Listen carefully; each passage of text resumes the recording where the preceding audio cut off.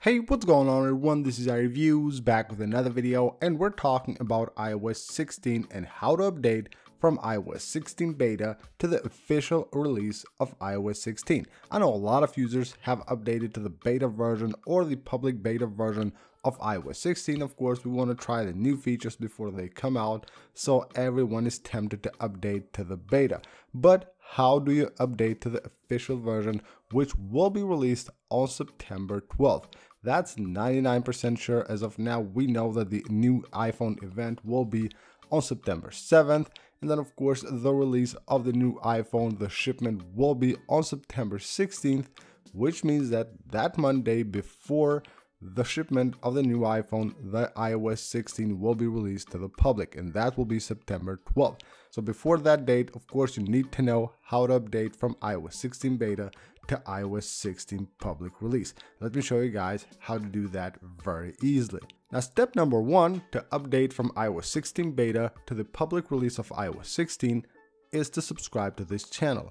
That is of course not required, but it's really really appreciated if you could do that as many of you guys that watch my videos are currently not subscribed to the channel.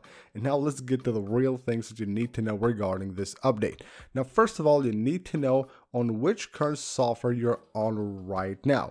So if you're on the latest iOS 16 beta, that means that you're on this right here. So if we go here, you can see it's 20A 5356A. This is the latest iOS 16 beta. It ends with an A, which means that it's the last beta before the RC version gets released. And the RC version will be released on September 7th after the iPhone event. Now, if you don't know, the RC version is basically the same as the public release, but it gets released to the devs like a week before it gets released to the public. So that's the exact same software.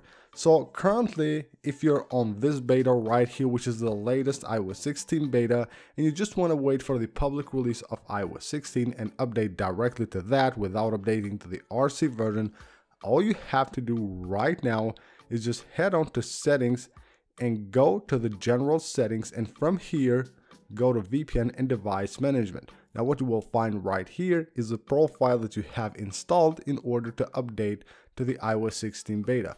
Go here and remove the profile. You tap right there, enter the passcode of your device and reboot your device and you're good to go. You have now removed the beta profile from your device and all stuff to do now is wait for the public release of iOS 16 and update to that. Now, if you don't do this and you wait for the RC version, which as I said, will be released on September 7th, then if you update to, the RC version, you will basically have the exact same update as the public release of iOS 16, which will be released on September 12th.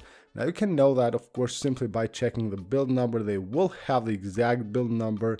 So you go right here to the iOS version and you will see that it will have the same exact build number when the public release of iOS 16 gets out as the same, it will be the same as the RC version.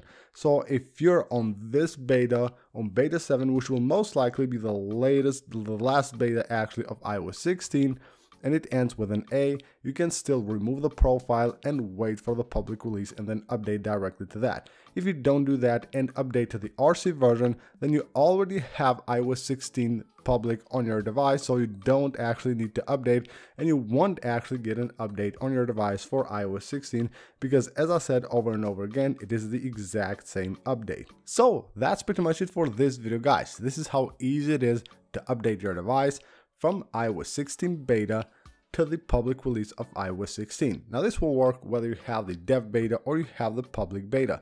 As long as you don't have the RC version installed on your device, just make sure you remove the profile and wait for the public release. If you keep the profile and install the RC version, then you're good to go as well. You have already the same exact version as the public release and you don't need to do anything more. So that's it. Make sure to subscribe for more iOS 16 videos. Make sure to leave a like on this one as it helps out a lot. And I'll see you on the next video.